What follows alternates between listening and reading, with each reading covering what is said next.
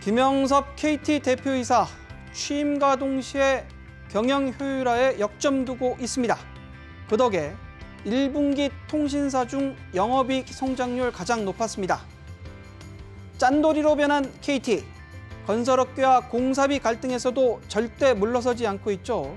쌍용건설과 판교 신사업 공사비 증액 다툼. 결국 소송을 택했습니다. 물가 변동금지 특약 이후로 공사비 더 줄 이유가 없다는 거죠. 쌍용 건설 경제 상황에 따라 공사비 변경될 수 있다는 건설산업기본법의 근거에 맞소송 준비 중입니다. 이 과정에서 감정의 골도 깊습니다.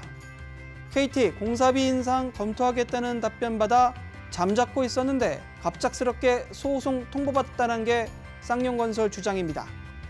쌍용건설뿐만 아니라 롯데건설, 한신공영, KT와 공사비 분쟁 겪고 있습니다. 이런 분위기에 건설사들 이구동성으로 누가 KT와 공사하겠냐 말 쏟아내고 있습니다. 치솟는 공사